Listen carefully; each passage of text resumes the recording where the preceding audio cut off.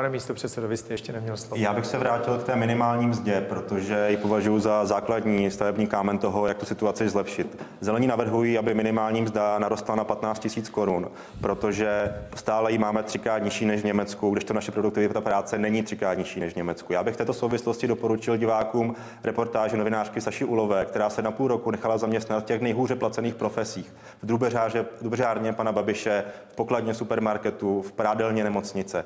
A tam pracují ty lidé za ty nejnižší mzdy vůbec. A myslím si, že je naprosto eh, nepřijatelné v naší společnosti, aby někdo, kdo tvrdě pracuje 10-12 hodin denně, dostával tak málo peněz, že si nemůže dovolit zaplatit ani oběd v kantýně nebo dětem obědy ve školách.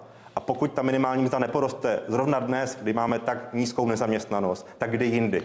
A pokud máme konkurovat v Evropské unii tím, že máme nízké mzdy, tak se nikdy z té pasti těch levných montovek nevy, montoven nevy, nevymotáme. Takže vaše a budeme cesta tady stále... je zvyšování minimální mzdy. Já bych chtěl uh, doplnit, že tato vláda zvedla minimální mzdu čtyřikrát.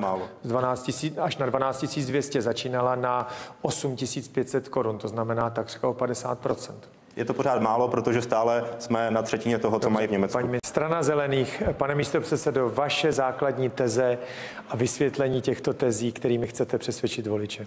Zelení mají nabídku pro všechny generace, pro mladé, pro rodiny s dětmi i pro seniory, ale zároveň jako jediní myslí i na další generace a na to, v jakém stavu jim tady necháme tuhle planetu. Protože pokud ji zničíme, tak ani pravicová, ani levicová politika už nebude, kde abychom ji prováděli. Proto je pro nás důležitá čistá příroda, boj se smogem, boj se suchem, zachování vody v krajině a samozřejmě dobré podmínky pro to, abychom mohli mít zdravé potraviny sociální jistoty a bezpečí, jak už jsem říkal, zvyšování minimální mzdy, podpora všem formám rodiny a také podpora dostupného bydlení, protože to je čím dál tím větší problém.